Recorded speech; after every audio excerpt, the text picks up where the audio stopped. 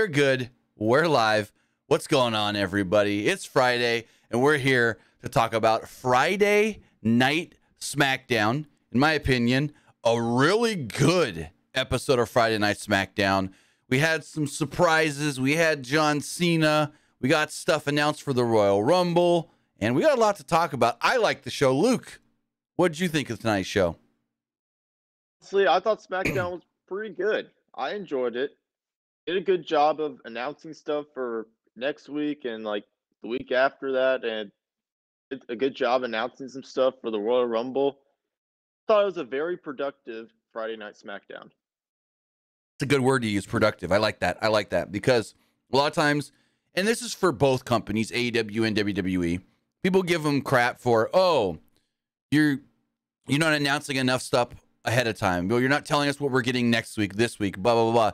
Well, they announced quite a few things for tonight's Friday Night SmackDown that we'll talk about here as we go on. But with that, I want to say thank you for watching this podcast. And whether you're watching live or watching later, you can watch YouTube, you can watch on Twitch, you can listen podcast services all around the globe. But maybe you're watching live right now, twitch.tv forward slash PW Unlimited. And if you are, you can help us out a couple of different ways. You can either help us out by subscribing or by hitting the donate button down below or donating Twitch bits in the live chat.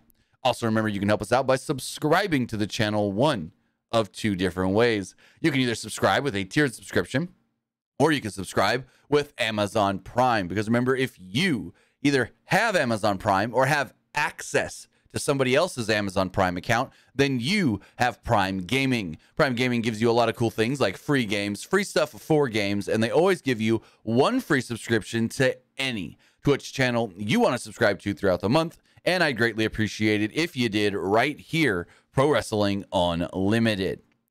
Also, remember if you're watching later on YouTube, you can help us out over there by becoming a channel member. As a channel member, you get early access to news, early access podcast episodes, early access non news videos, and so much more. Plus, you can get all of that by heading over to patreon.com forward slash PW Unlimited. And if you miss any of this show, you can always catch it on all major podcast platforms like Stitcher, Spotify, Google Pod, Apple Pod, Anchor, iHeartRadio, and so much more. And if there's one you use that we're not on, hit me up on DMs, whether that's on Twitter or whatever. You can either um, contact the PW Unlimited channel. You can contact me specifically at Timmy Buddy and let me know, hey, we're not on this podcast platform that I use. How can I listen? And also figure out how to get us on that podcast platform.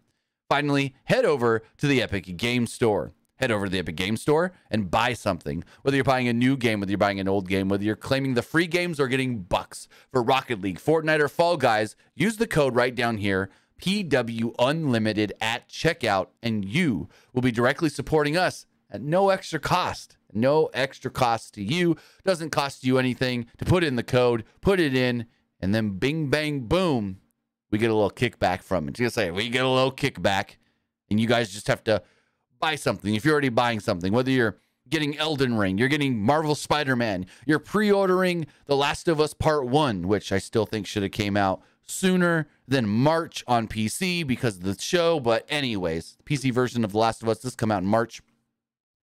Pre-order it and use the code PWU NLIMITED at checkout. You'll be supporting us.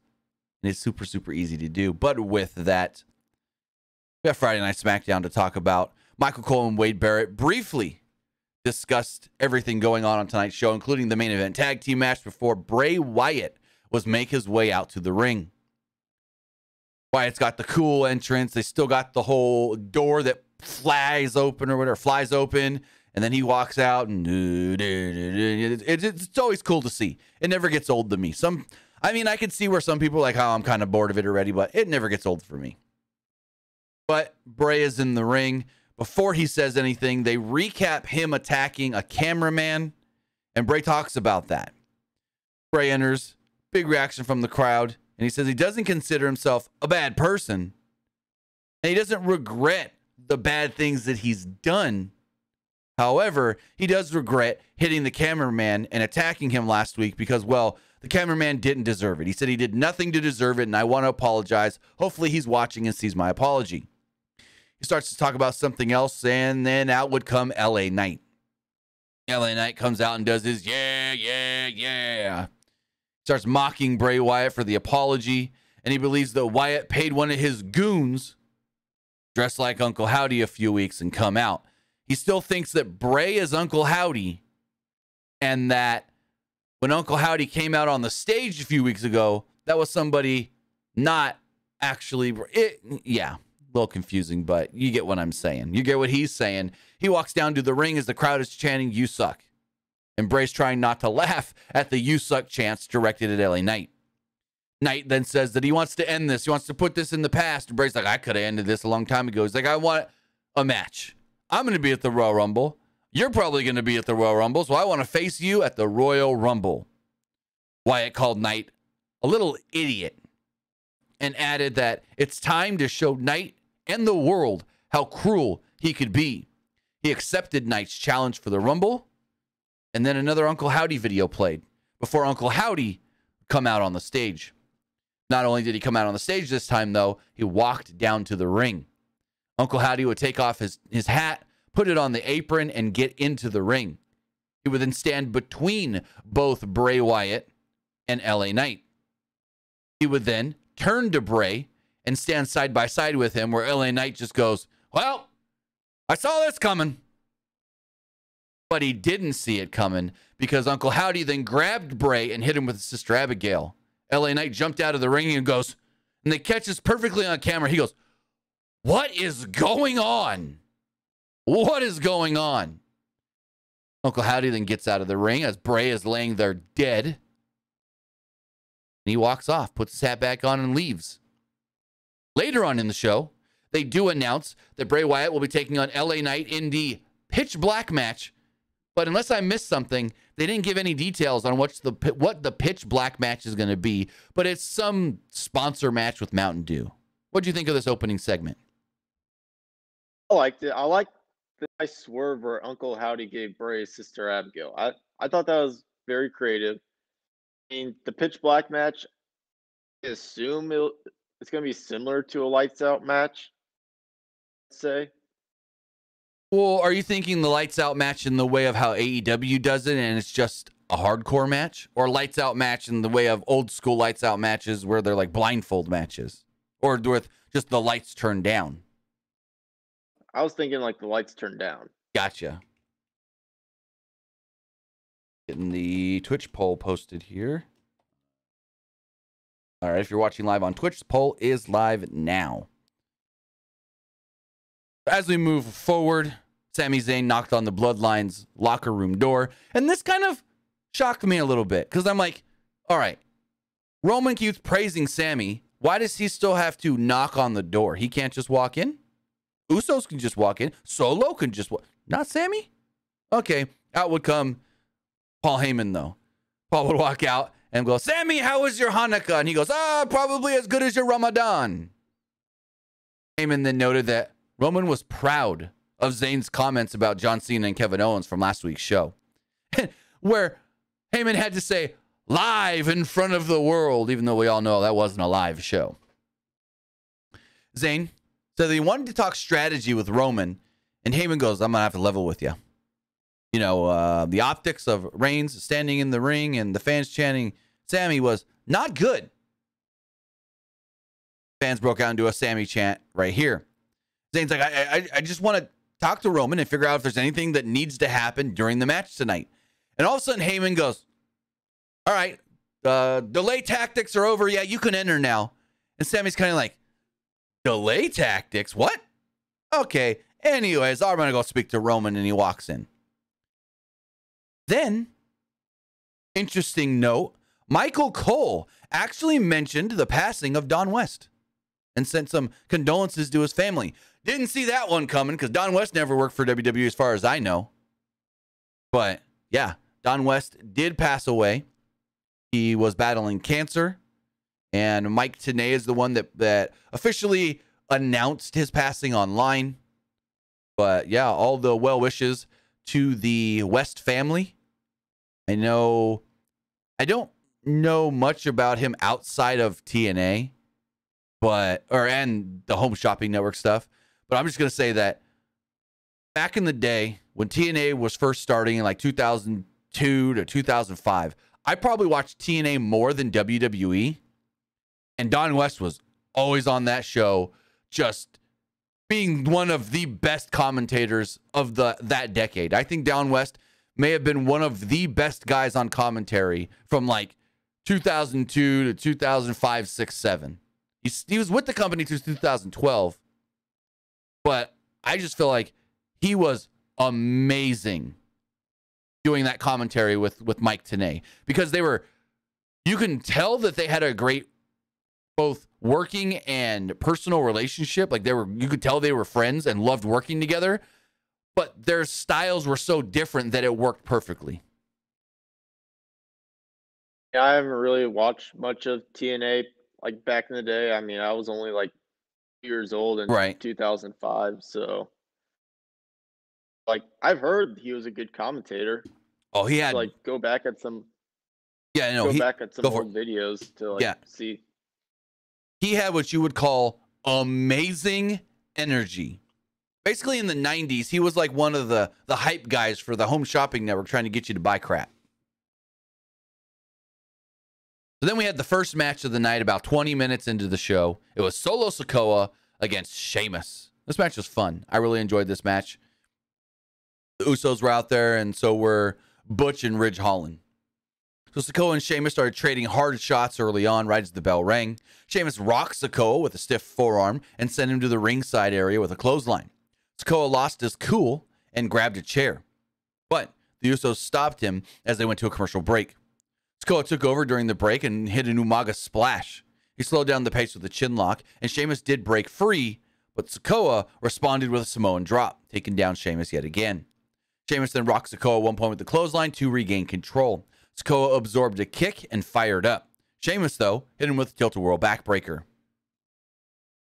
After the 10 beats of the Bodhrán, Sheamus went for a brogue kick. Sikoa, or he hit the brogue kick. Sikoa recovers, though, and caught Sheamus with a super kick.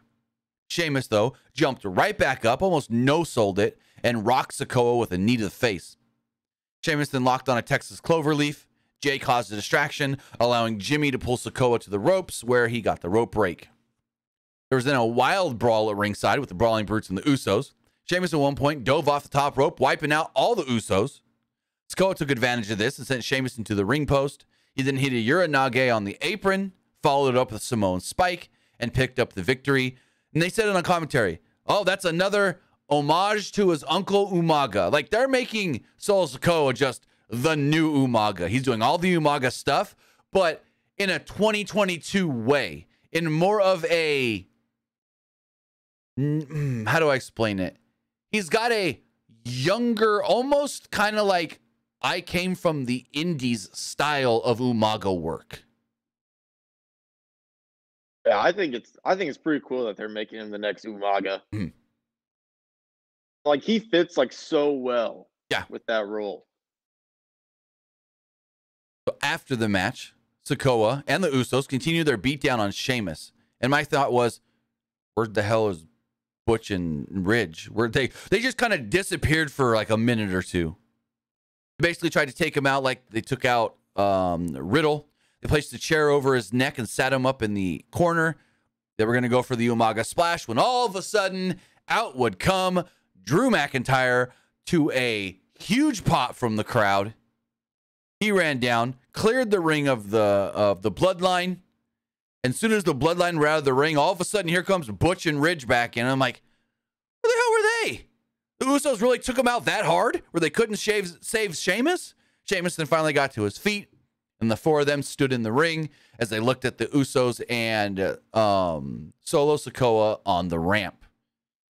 Also, it was set up later on in the show. It was announced that the match we were supposed to get weeks ago, Drew and Sheamus against the Usos for the tag titles, taking place. I want to say it's next week because they announced that for next week in two weeks. Uh, next week, tag title match next week.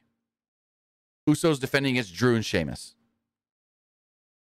I mean, I kind of expected Drew to come out, make the save. I kind of thought they would set up the match at Royal Rumble. Well, It's fine that they're setting it up for next week. yeah, because Drew and Sheamus are probably going to both be in the Royal Rumble. I mean, you can do double duty, but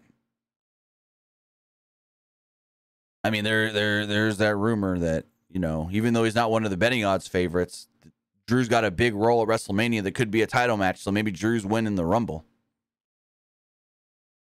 Don't know how they like separate the belts by WrestleMania. Yeah, that's going to be a tough one. I say that Cody still just comes out and goes, I think Cody should win the Rumble. Like I said the other day, Cody should win the Rumble and go, I respect both belts, but I only want the one that my dad tried to win and couldn't win. So that's the way I would do it. We then got uh, set up for the next match, SmackDown Women's title match. Shayna Baszler was at ringside with Ronda Rousey as she was challenged by Raquel Rodriguez, who won a gauntlet match last week. Um, since Cincinnati says IC title match in two weeks. Yeah, I know the IC title match is in two weeks, but we're not to that point yet in the review. And I wasn't sure if that match was in two weeks as well as the tag title match in two weeks, or if the tag title match was next week. Tag title match next week. We're all good since since Saturday. So Rousey and Rodriguez match was actually really good. Like I was going into it thinking, oh, this will be a decent to okay match. No, I would call this a good match. And they worked because I thought it was going to get kind of like muddled up with them trying to work over the fake injury, but they did a good job working over the fake injury. And there was a spot that I'm going to get to here in a second that looked awesome. Freaking Raquel standing on the middle ropes, and Ronda's basically up on her shoulder, like way up in the air with the armbar on towards the end of the actually it was basically the finish of the match. Like we'll get to it in a second, but this shot looked awesome. Anyways, Rousey wasted no time going right after the injured arm. Rodriguez did fire back and caused Rousey uh, and caught Rousey with a shoulder tackle. They briefly fought at ringside with Rodriguez press slamming Rousey back into the ring. Uh, Rodriguez was firmly in control at one point with a splash in the corner, and Rousey avoided a second one with Rodriguez going shoulder first into the post. After a commercial break, Rousey choked Rodriguez on the top rope. Rousey slowed the pace down, but Rodriguez did break free. Rodriguez fired up and hit a stiff clothesline with the bad arm. In a creative spot, Rodriguez went for a spinning slam, but Rousey countered into an armbar. Rodriguez reversed it into a Boston Crab, with Rousey reversing the Boston Crab into an ankle lock. Rodriguez would then escape and hit a flapjack. She set it for the Tejano bomb, but Rousey tried to counter with an armbar. They then fell off the top rope because this is the whole thing. They're on the top rope or middle rope. She's got her up for the Tejano bomb, but Rousey shifts it into an armbar. Eventually, they fall off the ropes, crash down. Rodriguez taps out. Ronda retains the title. We then go to commercial break. Come back. Oh, no, no, no, no. I'm reading this wrong. No, we don't go to commercial break. My bad. So, Shayna jumps in the ring and they immediately start celebrating. Referee had, yeah, they start celebrating. And where was I? Uh, I just lost my spot in my notes. And as they're celebrating, Ronda had a mic, and then out would come Charlotte Flair. Charlotte Flair would make her big, long anticipated return. And I was shocked that the crowd actually cheered her as big as and as much as they did. But before we get into that, what do you think of the title match itself? It was better than what I expected. I, I'll say that. I thought it was just going to be like an like an average match, but like grabbed my attention. Like Mhm. spot towards the end, I thought it was pretty cool. Very creative. Uh, since Saturday says Charlotte has new music. Well, I didn't notice it. Did she have new music? Like a like a kind of the same as like old one, but it has like a different beat to it. If it makes Gotcha. Because because once the title match ended, I stopped paying attention for a moment and didn't realize Charlotte came, had come out until like halfway through her walking down the ramp. So I wasn't paying attention to the music. But then when they played the music after the title win, I didn't notice it being different. So Magmalore says sounded like her dad's. Well, hers also already sounded like her dad's. So I don't know. I'll have to go back and check that one. But Charlotte comes out. Rousey mocked Flair's injury and wondered if Flair wanted a title shot at SummerSlam or Royal Rumble, which is sooner. Flair corrected Rousey and says, No, I want one right here, right now. I'm not waiting. And Ronda goes, Oh, really? Okay. And the referee called for the bell. Baszler tried talking Ronda out of it, saying, Don't do it, don't do it, don't do it. Ronda wanted to do it anyways. Flair mocked Rousey and rocked her with a big boot. She also took out Baszler off the apron with a big boot, hit her with a spear, uh, Ronda that is, but Ronda countered the spear into an armbar, which was actually a clever looking spot. Flair would then eventually roll up Ronda and pin her one, two, three, new SmackDown Women's Champion. Didn't see this one coming, but I'm all for it. I like it. Charlotte comes back and immediately is at the top and now a 14 time women's champion. To say this right now, like once she were, she came out and said like, "I want to challenge you for the belt tonight." I was like, yeah, "She's winning the belt. Yeah, they're not gonna have her lose when she, like right after she returns." No, I thought she was gonna come out and set something up for like Rumble or a future SmackDown. But when they said no right here, right now, like you said, there was no way Charlotte was gonna lose. But regardless, they'll probably do a rematch at Royal Rumble. Mm-hmm. So very good chance. I didn't even think about that, but very good chance. So yeah, there's one month till the Rumble. Well, technically, 28 days, 29 days, something like that. January 28th.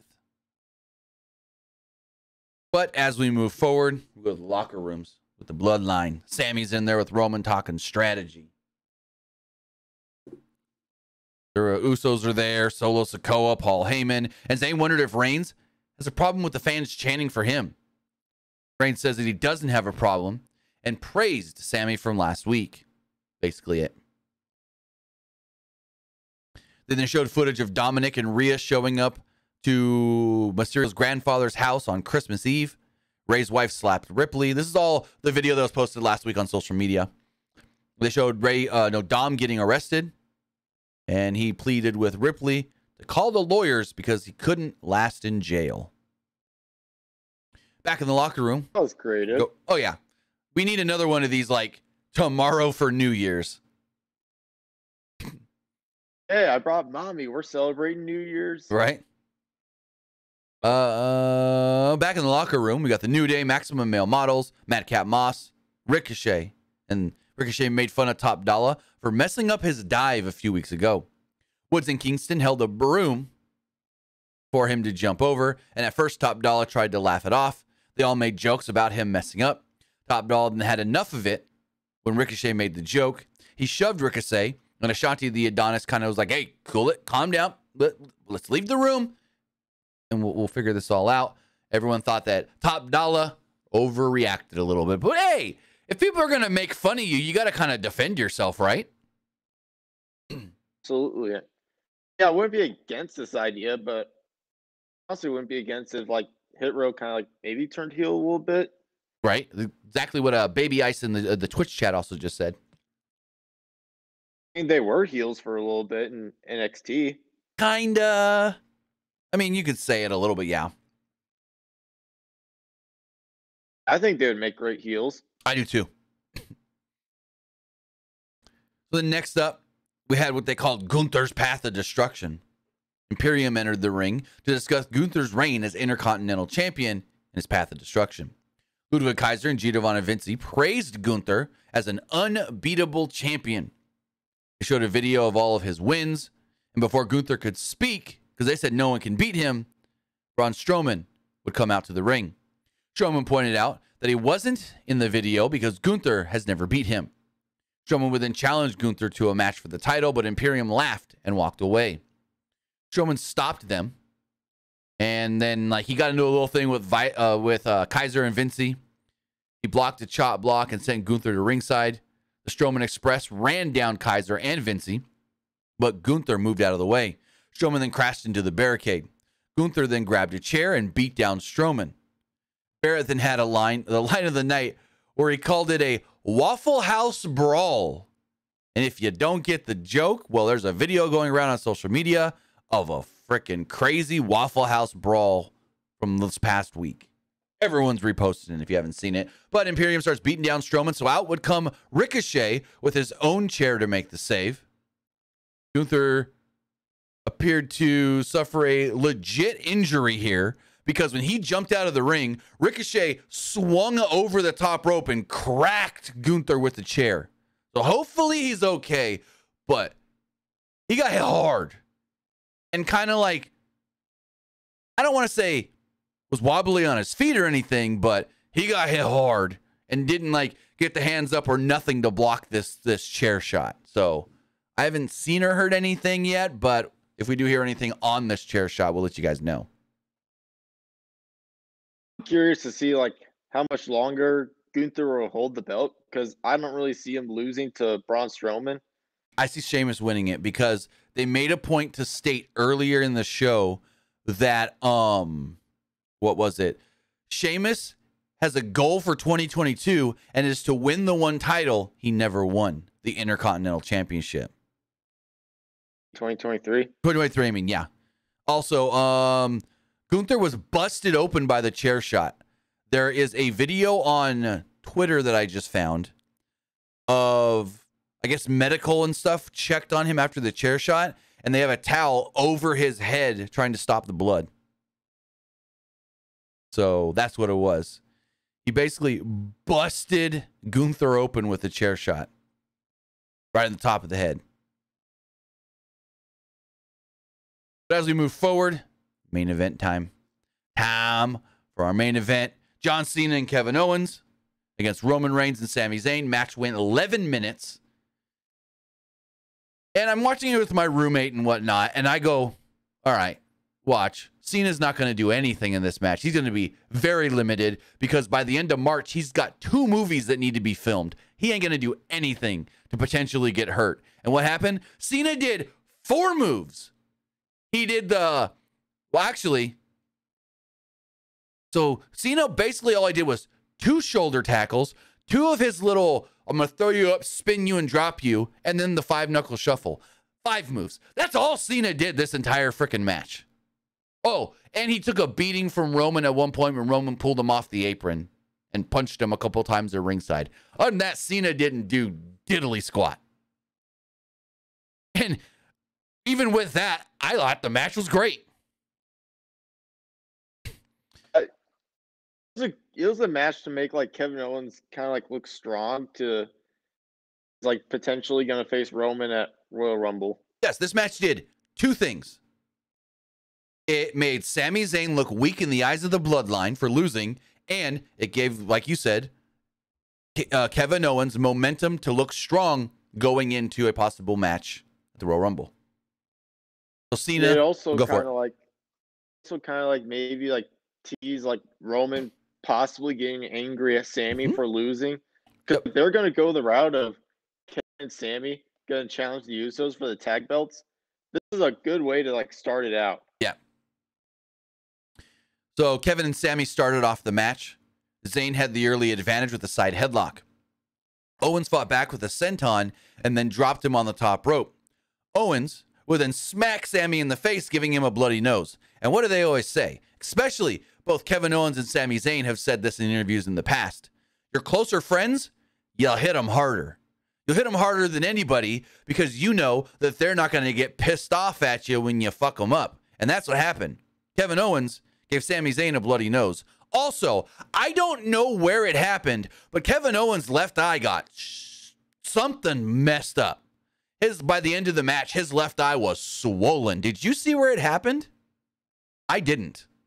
I I didn't see it. I noticed it like at the end. Yeah. though, like his eye was like super swollen. It looked like like someone like stabbed him in the eye or something. I don't know. No, it looked like he was in a freaking war kind of MMA fight where the other guy was just beating his eye. But yeah, I can get I can get your analogy too. But I'm seeing see if I can find a picture of this because this looked bad. Like this looked bad. Oh, here we go. Here we go. Yeah, his eye is fucked. I'm gonna pull this picture up on the screen from Twitter. Um, let's see, screen share. Yeah, this was Kevin Owens' eye by the end of the match. Like, holy crap. Let me see if I can find a clearer shot. Hold on. Let me see if WWE.com may have one. Because his eye was wrecked. Let's see. Um WWE.com. SmackDown images. Let's scoot forward to the end really fast and see what we can find here. eye can pull them all up on the screen. If we can find any images, like clear shots. Oh, they don't have everything uploaded yet. Nope, not all the photos have been uploaded yet. Never mind. But yeah, Kevin Owens' I wrecked. As far as the match itself does go, um, Reigns at one point tagged in, and the crowd erupted for Cena, chanting "Cena, Cena," and then "We want Cena." Owens considered tagging, and Reigns took advantage of the momentary like not paying attention of Kevin Owens, and he rocked Owens with a clothesline. After commercial break, the Bloodline was firmly in control, and the heels isolated Owens on their side of the ring. He did fight back and rocked Sami with a clothesline. Owens tried to tag Cena, but Roman pulled Cena off the apron, beat him down a couple couple shots at ringside, and Sami followed this up with the Helluva kick to Cena off the apron. Uh, back in the ring, Owens countered a Helluva kick with a super kick. Owens went to the corner, but Cena still down. This is when I noticed the eye all messed up, right around this spot. He rocked Zayn with a second super kick and a pop and a pop-up power bomb for a near fall. Reigns then tagged in and went for a Superman punch. Owens recovered and rocked Reigns with a super kick. He followed this up with a frog splash halfway across the ring almost and got a near fall off of it. Reigns did counter a pop-up powerbomb attempt and hit a Superman punch. Reigns did miss a spear, and Owens finally was able to tag in Cena to a tremendous pop from the crowd in Tampa. Cena ran wild on Zayn and Reigns, but like I said, it only did five moves the entire match. Like, not five moves, five moves in total, not like five different moves multiple times. Five moves in total. Two shoulder tackles, two of those throw you up, spin you, drop you. Then he tags in Kevin Owens. Oh, six moves. My bad. They do the five knuckle shuffle together. Cena then hits the attitude adjustment on Reigns to take him out of the match. Owens gives Sami a stunner, and the match is it. Owens pins Sami, and the match is over. And that's it. So six moves. I forgot the attitude adjustment at the end. Thoughts? Kind of disappointing to see like Roman only do like six moves. I thought he could have done a lot more. But You mean you mean Cena? Cena? Yeah. I guess they're trying to like keep him safe so he doesn't get injured for like future movies and stuff. Right, because he's got two movies that need to be at, least that we know of, two movies to be filmed by the end of March. Also, I'll pull something here up on the screen that that uh WWE on Fox and Fox Sports actually tweeted out, or not actually, no, posted on Instagram. What the heck? John Cena getting his own version of WWE 2K22? So this was posted by Fox Sports. And hold on, I'm going to look something up really quick just to make sure this isn't like a fake tweet. Hold on, we're to go to Instagram really fast. If you guys saw that, it's a GOAT edition of WWE 2K22. So let's now go WWE on Fox. Let me just double check. Nope, this is a real tweet. This is a real or Instagram post. Okay, hold on. Pull this back up on the screen. This is interesting. Oh, okay. Now there's context here. It says, Hear us out at WWE Games. It's about time. So they're saying that they should release another version of the game with Cena on the cover, call it the GOAT mode. I don't know if it's actually going to happen. It'd be cool if maybe they released this with like all the DLC characters in one big, you know, like game of the year title kind of edition thing. That'd be pretty cool. But it's not anything official. It's just them tweeting something going, maybe you should do this. I mean, kind of late for that though. I mean, Well, yeah. at this point, you should probably just be like focusing on trying to release uh, the next two. It's a, it would be a good idea for 2K23. Maybe do like a goat edition. And uh, they are they doing a season two of Peacemaker? And did they like finish filming it? I know they are. I don't know. We could look really fast. Let's go. Um, I can tell you right now. John Cena, IMDb, Peacemaker.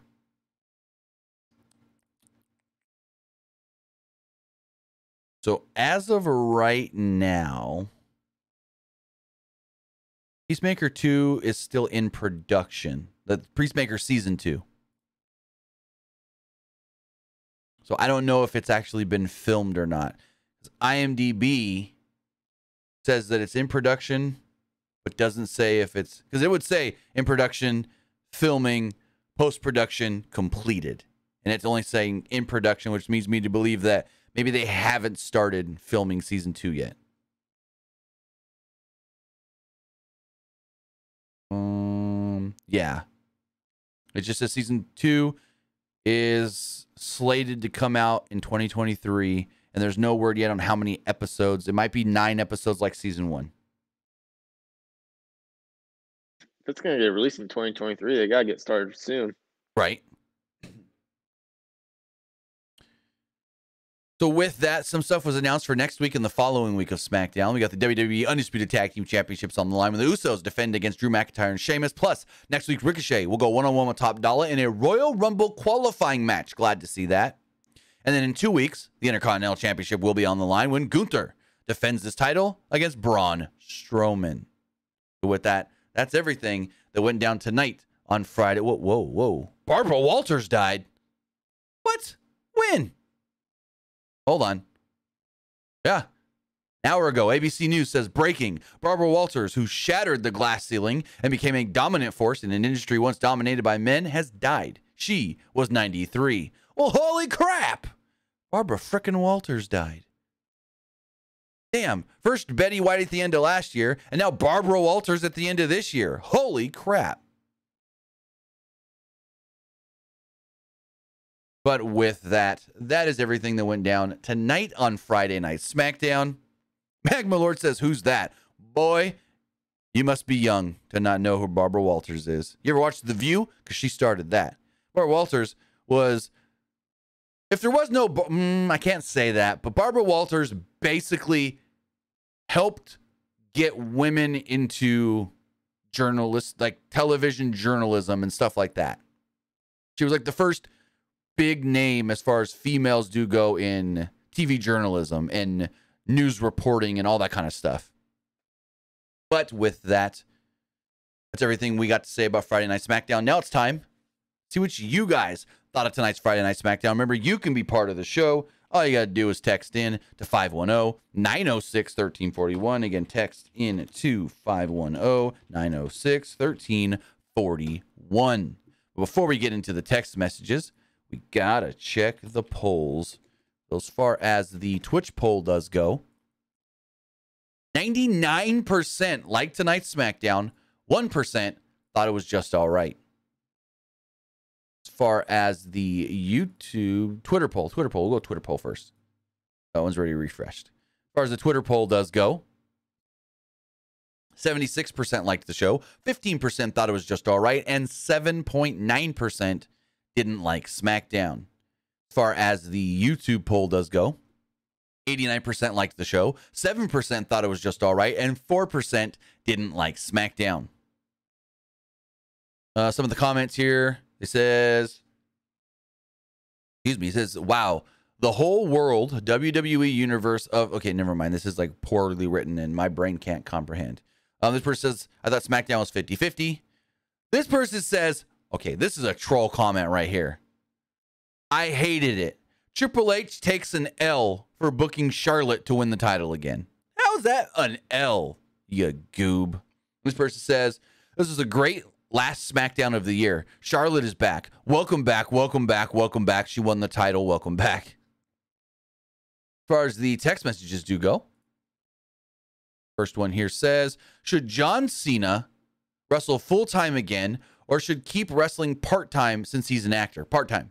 Cena's like 40 something years old.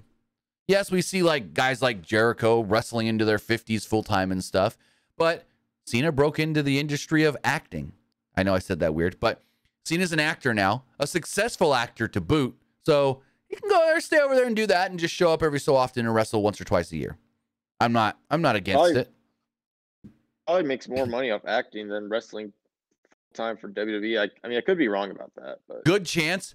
And Cena not being around every week is actually better for WWE because if Cena's around every week, the the draw factor may wear off. And if he's just here every so often, a couple of times a year, that's going to A, do big ratings, and C, or B, do big ticket sales because people go, oh my God, Cena's back? We haven't seen Cena in how long?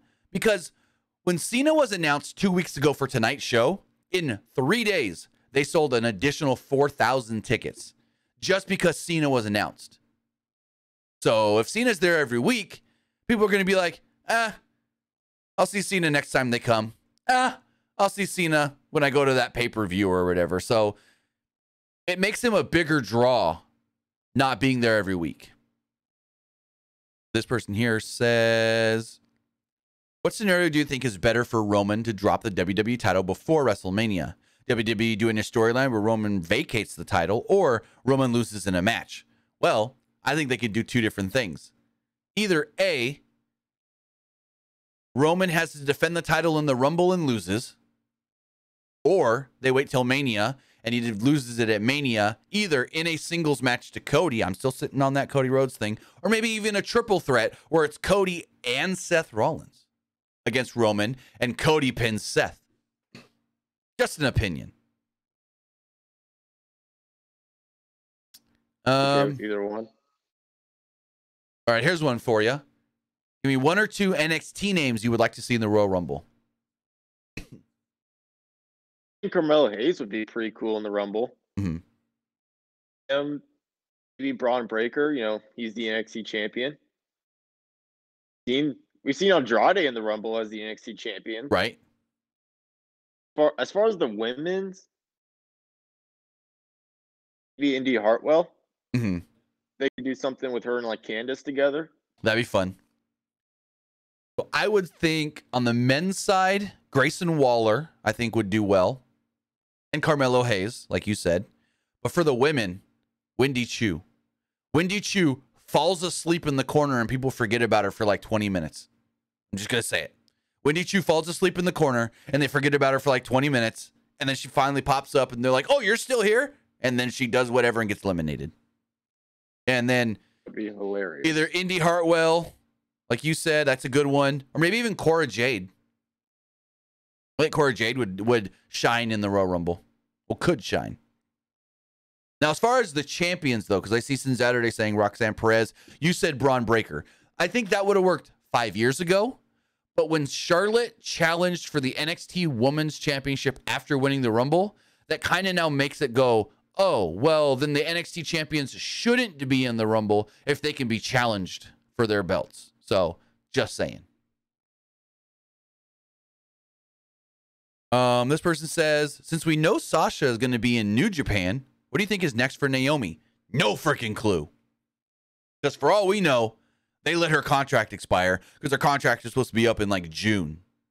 So for all we know, they just let it expire and she can do whatever she wants. I don't know if she's what she's doing because there's all this news of Sasha, Sasha, Sasha, and unfortunately, Naomi leaves with Sasha and then just gets forgot about. And like fans don't rarely even ask about her, which really sucks as well. And final text message here says, Are you surprised of the result of the main event? No, it's exactly what I thought was going to happen. Owens was going to pin Sami Zayn. That's exactly what I thought was going to happen. So, no, not surprised one bit. gotta make KO strong, like going into Royal Rumble if he's gonna challenge Roman, which that's probably gonna happen. Yep. With that, guys, that's everything we got regarding tonight's Friday Night SmackDown. I want to say thank you for joining us if you're watching live, twitch.tv forward slash PW Unlimited, or if you're watching or listening later, whether that's youtube.com forward slash Pro Wrestling Unlimited or podcast services all around the globe like Stitcher, Spotify, Google Pod, Apple Pod, Anchor, iHeartRadio, and so much more.